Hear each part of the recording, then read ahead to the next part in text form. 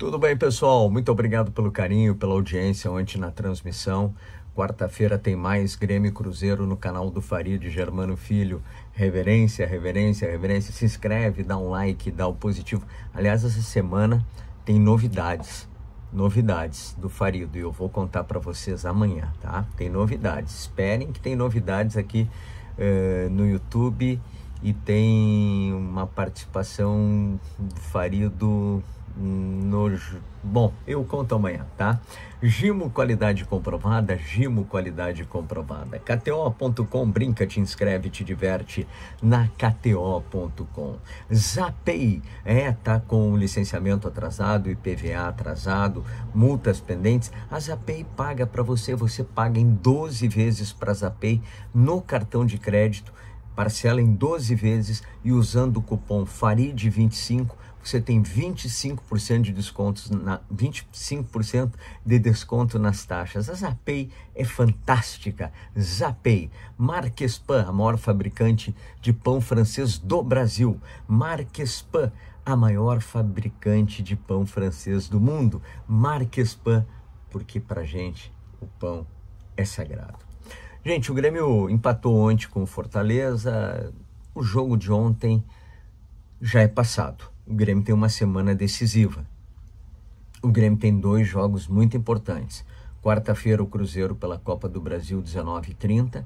E domingo, o Clássico Grenal, 18h30, na Arena. Ambos os jogos na Arena. Ambos os jogos, o Grêmio precisa vencer. Mas ontem, Renato, na sua entrevista coletiva, deixou claro e ligou um sinal de alerta. Dois jogadores estão jogando no sacrifício dois jogadores no sacrifício. Dois no sacrifício. Não bastassem aqueles que estavam no departamento médico e ontem o PP voltou e voltou muitíssimo bem. PP para mim foi o nome do jogo.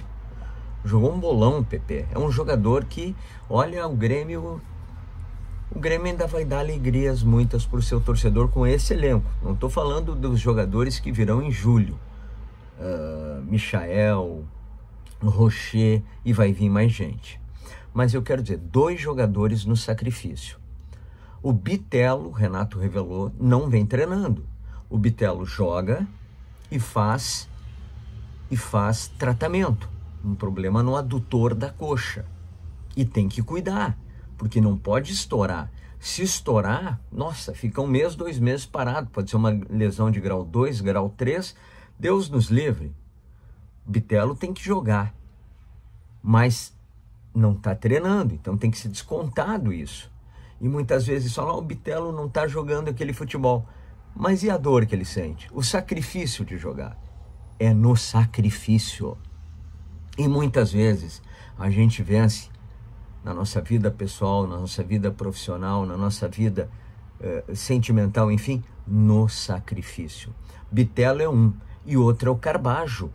O Carbajo que é um excelente jogador, e o Renato explicou por que, que ontem colocou o Mila e não colocou o Carbajo. Justamente por isso. O Carbajo jogou contra o Palmeiras 60 minutos na grama sintética, que é uma grama diferente, dá mais velocidade para a bola. É um gramado que te trava mais, te trava. Quando a gente joga as peladas aí com a rapaziada, trava, é perigoso o joelho, é perigoso o tornozelo, é perigoso o quadril. E o Carbajo tem um problema de pubalgia que é uma inflamação no pubis e que também faz tratamento diariamente. Então são dois jogadores no sacrifício. Acho que esses dois jogadores, tanto, acho não, Bitelo não tenho dúvida, mas acho que o Carbajo pode jogar contra o Cruzeiro, ou deve jogar, ou deve começar. Apesar que eu acho que o meio-campo de ontem, com Vila Sante, com o PP, com o Bitelo e com o Cristaldo, ele é um bom meio de campo.